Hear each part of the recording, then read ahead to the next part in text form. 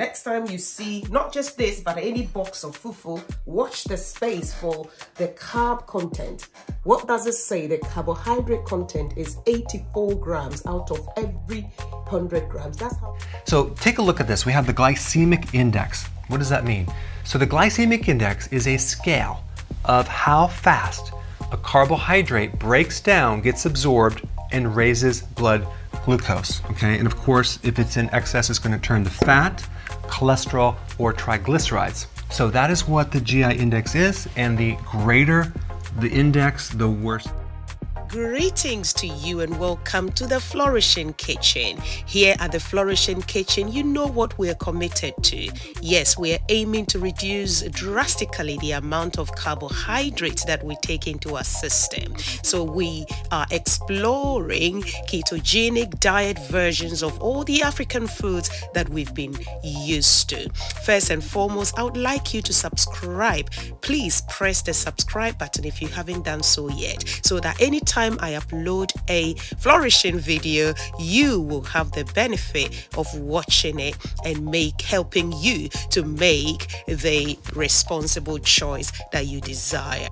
This is a special video that seeks to explore um, the dangers of high carb foods like fufu just to disclaim that it is not aimed to destroy anybody's business. I'm just using Mama's Choice in this case, but there are several examples of fufu powders that has been used in the past. Personally, I found the Mama's Choice fufu actually as one of the best on the market until I discovered that even that is not good enough to stay on my staples Before list. I did this, you anytime I, I'm not a fufu fan, like me pure asante a made fufu, but once in a while, say once a week or something, I like a swallow. And when I used to do uh, it the old way, for those of us in in this part of the world, I will mix um, this type of fufu. Let me show you. Um, is um, Mama's Choice fufu. Okay, and they call it plantain enriched, whatever it is, contains real. And let me show you something dangerous. Next time you see not just this, but any box of fufu, watch the space for the carb content. What does it say? The carbohydrate content is 84 grams out of every 100 grams. That's how you look for um, the carbohydrate content in every. I think for me, it's the carb and the sugars that I'm now on a war against and I will share I will share with you why. So it means that if you take like over box weighing na 84% uche mu 100 emu 84% ɛyɛ carbohydrate starch nkoa. As to whether the starch is even a proper plantain starch or not is another story for another day.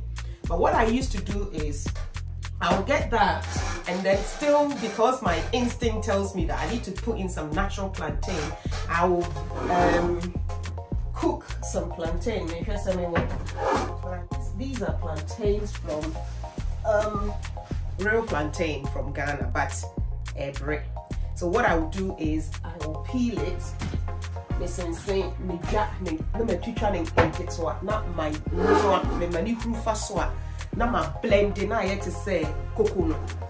And then koko no na powder ɛde ama sɔfo i mean i've stopped eating this for i would say actively stopped eating it for about a year now and i see the difference but still i am on a war against that 84 percent and when I found this aubergine version of, of fufu and uh, I'm so excited. So let's hear what the experts say about carbs. I chanced upon Dr. Eric Berg's YouTube channel and I was inspired by some of the tips So take a look at this. We have the glycemic index. What does that mean? So the glycemic index is a scale of how fast a carbohydrate breaks down, gets absorbed, and raises blood glucose. Okay, and of course, if it's in excess, it's going to turn to fat, cholesterol, or triglycerides. So that is what the GI index is, and the uh, table sugar is 63. Okay, rice is about 69. Popcorn, depending on what type it is, there's different types of popcorn, and whatever you put on it too can range anywhere between the high 70s and the uh, low 90s. Bread can go between you know 75 and 85 depending on what kind of bread it is, like refined bread, because in refined grains you don't have the fiber, and fiber is a carbohydrate, but it actually has the potential to buffer or slow down this effect right here with blood sugars. Now the potato can also range too because the more that you cook it, the more the uh, sugar molecules break down and the, the higher it is on this glycemic index. So a raw potato would be way down here, but who's gonna consume a raw potato? They're gonna cook it, they're gonna boil it, and they're gonna mash it, or they're gonna have an instant potato, which is pretty high. Maltodextrin is really high. It's probably one of the war against that 84%. Which is these carbohydrates are worse than sugar because they are higher on the glycemic index. They'll create more damage. So just because certain foods are carbohydrates and not sugars doesn't mean that they're healthier, okay? You just have to understand the glycemic index. And lastly, the carbohydrates that you want to focus on are the vegetable carbohydrates because you have the fiber that feeds the, the colon bacteria, which actually will help fuel um, the body because you, your body can't digest fiber, but the microbes can. So basically fiber gives these microbes the food. In exchange, they give you this healthy, uh, it's called a butyric acid, that then helps regulate blood sugars. Okay, so it actually helps your blood sugars. Uh, and it's loaded with fiber, it's low in sugar, uh, and it's high in nutrients. Okay, so we want to focus on the vegetable fiber. We don't want to consume the fruit because it's too much sugar. We definitely do not want to do the starch. Well, folks, you just heard it from the horse's own mouth. Vegetables with high fiber and low carbs are the way to go. And just for our further education, all the types of fufu flours that are on the market are made from potato flour, which is just like cassava or plantain. And when I found this aubergine version of, of fufu uh, kokonte, I'm so excited. At